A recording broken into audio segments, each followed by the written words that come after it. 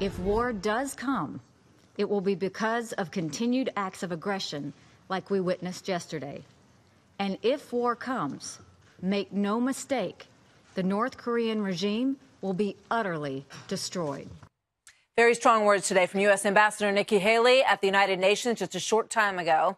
As the threat of a North Korean missile hitting the United States comes much closer to reality, the, the rogue regime's latest intercontinental ballistic missile puts really our entire country within the target. Take a look at this map. You've got 33 minutes to Los Angeles, 37 to 38 to Chicago, 38 to 39 minutes from launch time to hitting New York City. So joining me now, Senator Lindsey Graham, who sits on the Senate Armed Services Committee. Senator, good to have you with us tonight. Always a pleasure uh, to hear Thank from you. you.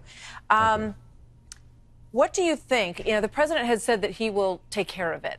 Those were the words that he used when he saw this missile launch. What do you think he means by that?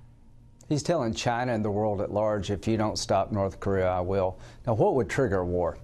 The day the president believes that the North Koreans have the capability to launch an ICBM with a nuclear weapon on top that can actually hit America, uh, he's never going to let that day happen. So his policy is to deny the North Korean regime the ability to hit America with a nuclear weapon, and we'll go to war to stop that. So what he's telling China is if you don't change North Korea's behavior regarding their missile program and their nuclear program, uh, I will preemptively attack North Korea and destroy their regime.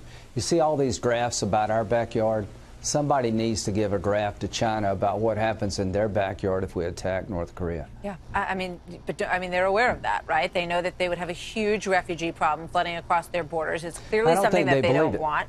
But I don't. You don't, you don't think, what? They, I don't think they believe it because there's one of two things going on.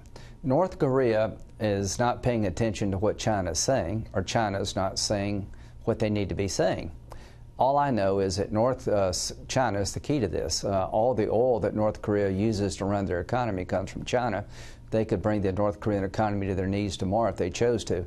Trump's got to convince the Chinese that he's deadly serious about a preemptive attack against North Korea, that we're not going to live our lives as Americans under a nuclear threat from a crazy man in North Korea. And if there's going to be a war to stop uh, this uh, threat, it's going to be in China's backyard, not America's backyard. And he needs to deliver that message to the Chinese without any equivocation, and I think he has. Senator Lindsey Graham, thank you very much, sir. Good to talk to you tonight.